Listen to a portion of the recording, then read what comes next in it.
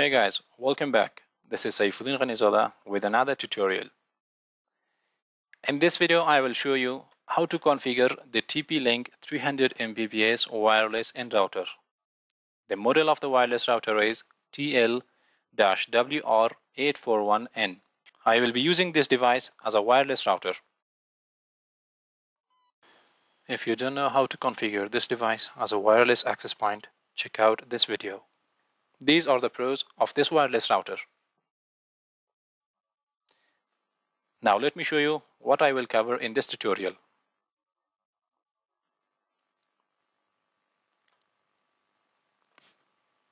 Let's start the configuration now. First of all, turn on your wireless router by connecting the power adapter to the back of the wireless router. Now, take a network cable, plug one side to your PC and the other side to one of the four LAN ports on the back of the wireless router. Now open Network and Connection Settings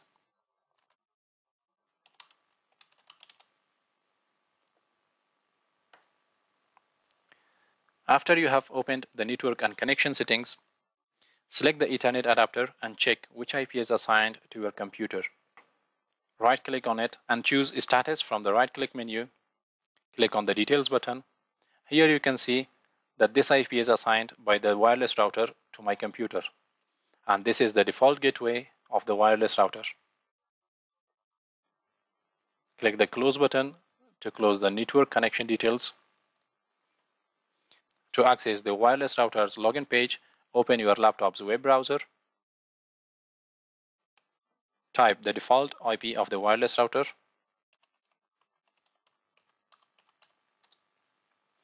You can also access the wireless router by a URL.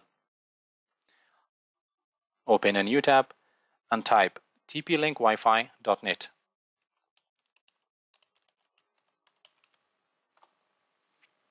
The default username and password for the wireless router is admin.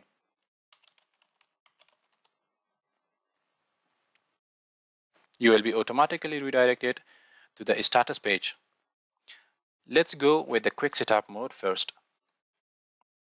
As I mentioned earlier, I will be using this device as a wireless router, so I will choose the wireless router mode in the operation mode menu. Click the next button to proceed to the next step before proceeding to the next step, get your network cable and connect it to the WAN port on the back of the wireless router. After you have connected the Ethernet cable, here you have to choose the internet connection according to your ISP. My ISP has given me the static IP, so I will go with the static IP option. If your ISP has provided you DHCP option, select the auto detect mode and click the next button. It will automatically detect your connection type. Let me go back and select the static IP option. After you have selected the static IP option, you have to enter the basic parameters which are provided by your ISP.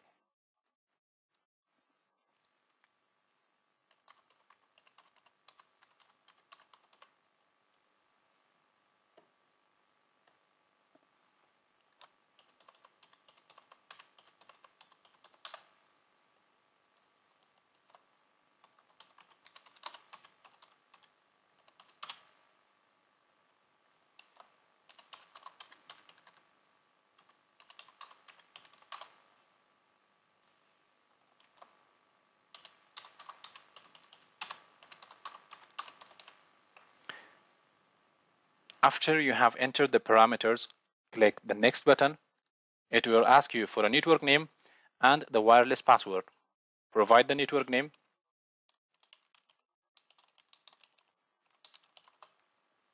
And then provide a wireless password.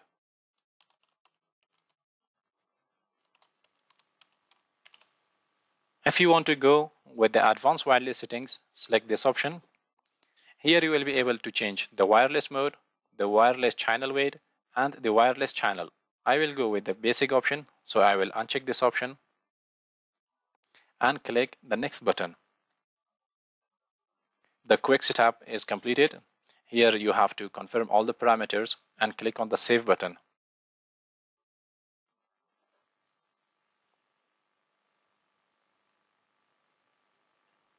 We have finished the quick setup mode. Let's go with the manual mode. First you need to change the operation mode. Select the operation mode from the menu and select wireless router from the menu because we will be using this device as a wireless router. Click the save button. It says that this mode is already applied. It's okay. Navigate to the network menu. Under network menu, you have four options. In the WAN, you have to provide the connection type that's given by your ISP, which I mentioned earlier. I have been given a static IP address by my ISP. That's why I have selected the static IP option. But in your case, it might be different. Select your connection and click on the Save button. The next sub menu under network is LAN. In the LAN setting, you can change the IP address of the wireless router. I don't want to change the IP address. I will leave it as it is. But if you want to assign a static IP address to the wireless router, you can change it from this menu. Let's navigate to the wireless menu. Under wireless menu, the first option is basic settings. In the wireless basic settings, you can enable and disable the wireless, change the wireless name, change the wireless mode, the wireless channel, and the wireless channel width. And also you can enable and disable the SSID broadcasting. The next submenu is WPS. In the WPS menu, which means Wi-Fi protected setup, this function will help you add a new device to your network quickly. If the new device support Wi-Fi protected setup or WPS and is equipped with the configuration button, you can add it to your network by pressing the configuration button on the device and press the WPS button on the router within the two minutes. The device will be automatically connected to your network. The next menu under wireless is wireless security menu. Here you can change the security of your wireless. The version of the wireless security is WPA2 PSK and I am using the AES as an encryption. I have given a wireless password. Here you have another option whether you want to go with the WPA2 enterprise mode or with the WEP mode. But I recommend to go with the WPA and WPA2 mode. It's a good option and also it's secure than WPA2 enterprise version and the WEP version because it uses the AES which means advanced encryption system. The next submenu under wireless menu is wireless MAC filtering. Using the MAC filtering you can allow and deny some specific MAC addresses to access your network. Here you have two options. If you choose the deny option, all the MAC addresses listed here cannot access your network. But if you select the second option, which is allow, only the allowed MAC addresses will be able to access to your network. Currently, the wireless MAC filtering is disabled. If you want to enable it, click on the enable button and add the MAC addresses that you want to allow to your network. I don't want to use MAC filtering in my network, so I will disable it. The next submenu under wireless menu is wireless advanced. Here you can change the transmit power, the beacon interval, the RTS threshold, the fragment threshold, and the DTIM interval. If you are not a tech guy and you don't want to break your wireless router, do not touch any of these options. Leave it as default. The next submenu is wireless statistic. Here it will show how many devices are currently connected to your network. It will show the MAC address, the current status, the receive and send packet, and through which SSID they are currently connected to your network. The next menu is guest network. Here you can configure a guest network for your guests and can separate your local network from your guest network. The first option is that whether you want to allow your guests to access your local network or not. It's a good option to not allow your guests to access your local network. I will leave it disabled. Guest network isolation. If you enable this option, one guest cannot communicate with the other guest and guest network bandwidth control from the name it appears that you can manage the bandwidth of your guest. Currently the guest network is not enabled. I will enable the guest network and provide a network name for my guests.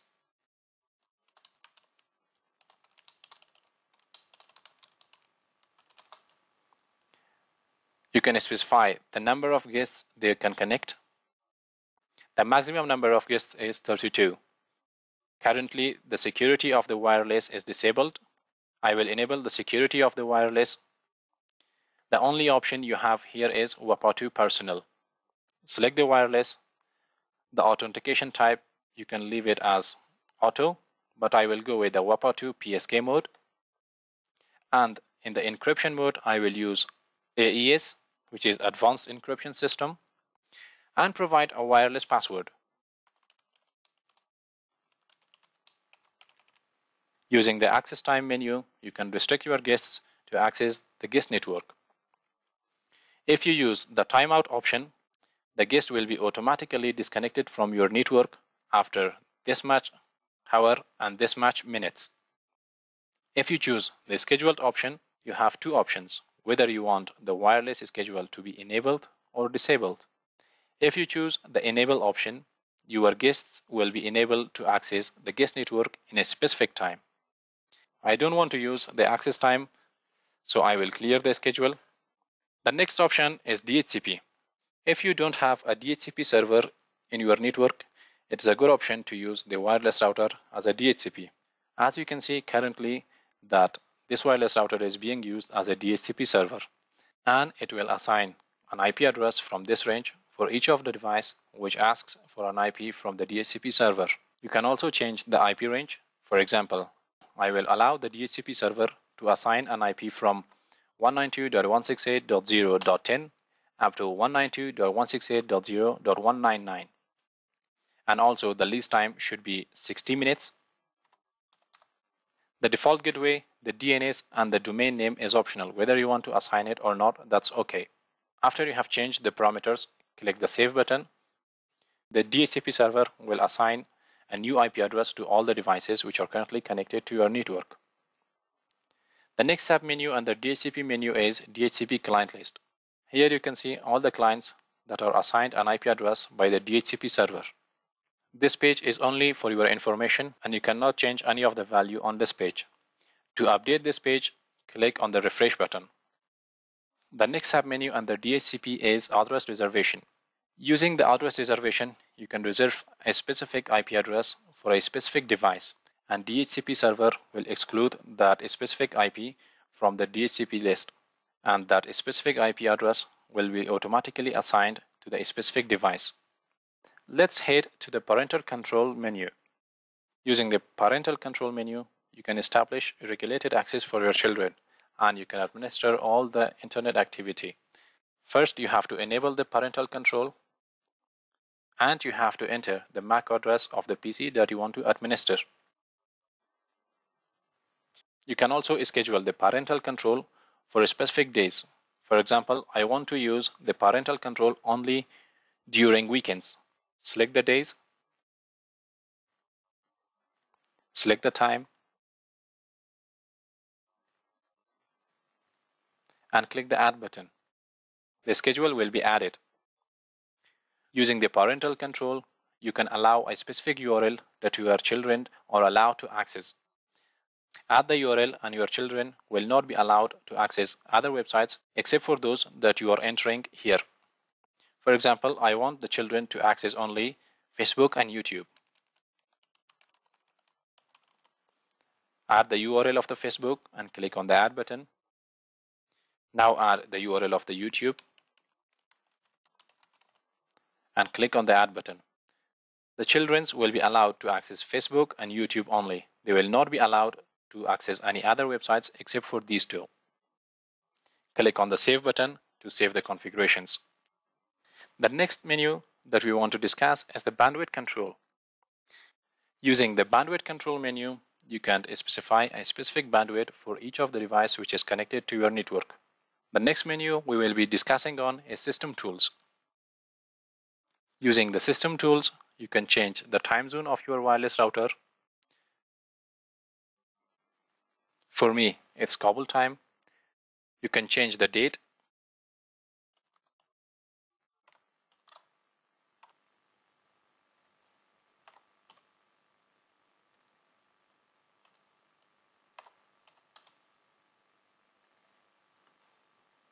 And also you can change the time of your wireless router.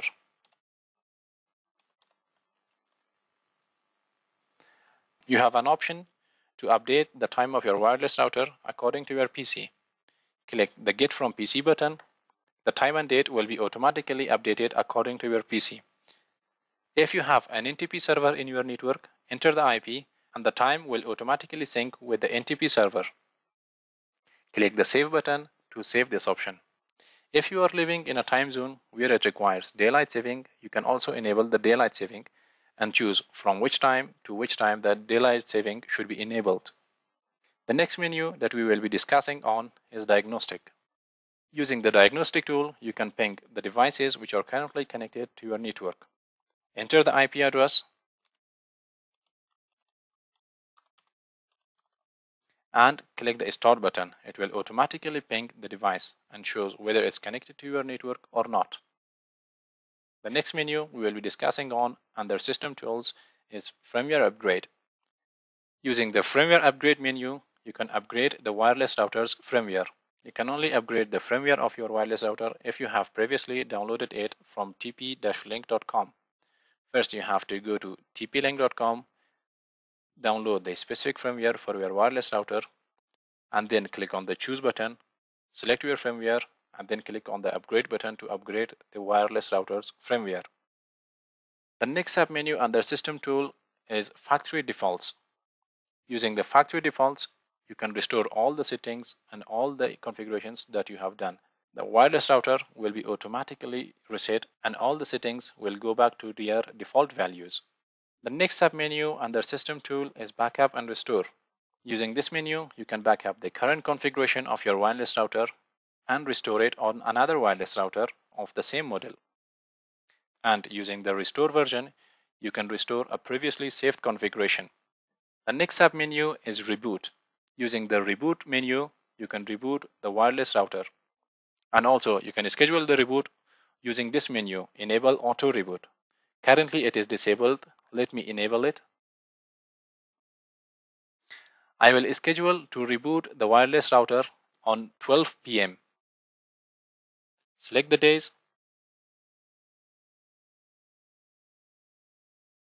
I want the wireless router to be rebooted every day except for Sunday at 12 p.m. After you have choose the schedule, Click on the Save button and the wireless router will be automatically rebooted on the selected days and time. The next menu under System Tools is Password. Using the Password menu, you can change the default username and password, and it's strongly recommended that you change the factory username and password. First, I have to type the old username, which is admin,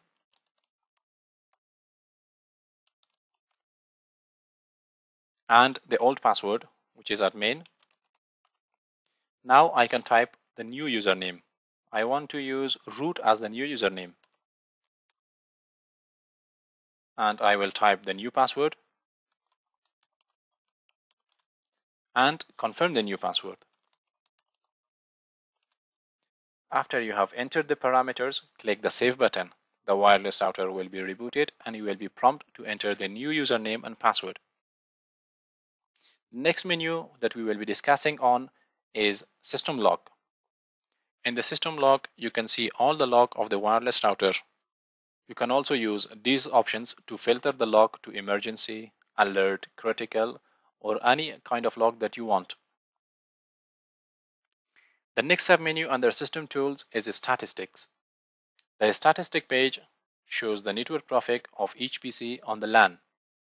It includes the total traffic, and the value of the last packet's statistic interval in seconds. The last option is the logout option. If you click this option, you will be logged out from the wireless router. But first, it will ask you whether you want to log out or not. Click the OK button to log out. And that's all for configuring this device as a wireless router. If this video helped you, give it a thumbs up and share it with your friends. If you have any problem configuring this device as a wireless router, comment down below and I will get back to you as soon as possible. I will catch you on soon with another video. Till then, have a nice time.